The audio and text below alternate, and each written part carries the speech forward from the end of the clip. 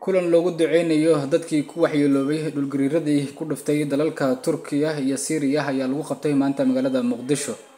Kulankani ayaa waxaa soo qabanqaabisay mu'asasada samsom foundation iyadoo ayna ka soo qayb galeen mas'uuliyiinta maamulka mu'asasada samsom foundation iyo tayo culimodiin arday iyo marti sharaf kale.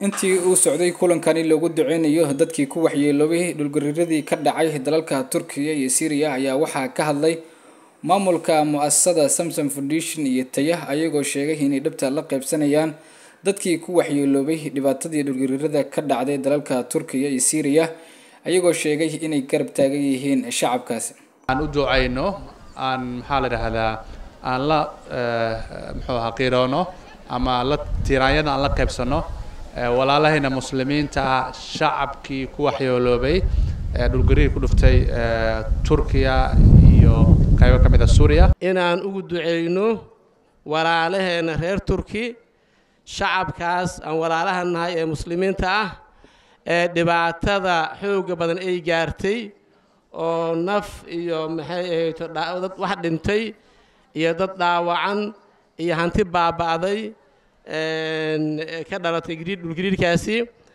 ayaan rabnaa inaan u duceyno oo aan dareenkeenna muujino dhanka kale culimodiinka ka soo qayb galay munaasabadani loogu duceynayo dadkii ku waxyeeloobay dhulgariiradii ka dhacay dalalka turkiya iyo siiriya ayna dhibta la qaybsanayaan dadka reer turkiya iyo siiriya xanuunka ku dhaca walaalaheenna suuriya iyo turkiya waan xanuunsanaynaa waan ka murgaynaa.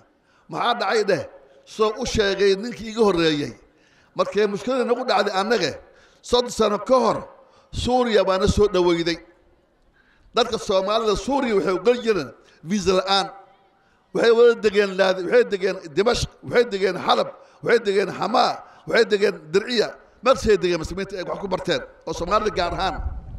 Markii kow iyo tobankii labada kun iyo kow iyo tobankiina madaxweynaha turkiya halkaan buu yimid iyadoo abaar jirto. Ayuu nagu soo dhoweeyey. Oo oo waddankaana kala xirxiran yahay oo airboor jirin.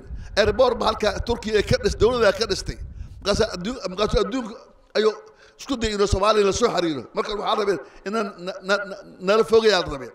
Turkiya ilaahay noo gargaaray oo noo samaysay dadkaas waxaas ay ku dhaceen marka waa inaan ka murugnaa waxaa naga dhexayso islaamnimo iyo raabida caqiidiya iyo kuwa iimaaniya naga dhexayso waxaa naga dhexayso dhaqaalayn taas daraaddeed waa inaan la murugnaa oon yacni la qaybsannaa dhibaatada waxa ugu weyn oon la qaybsan karnana waa inaan u ducaynaa musiibadaasna aan la xanuunsannaa cabdiraxmaan shaahu warbaahinta qaranka muqdisho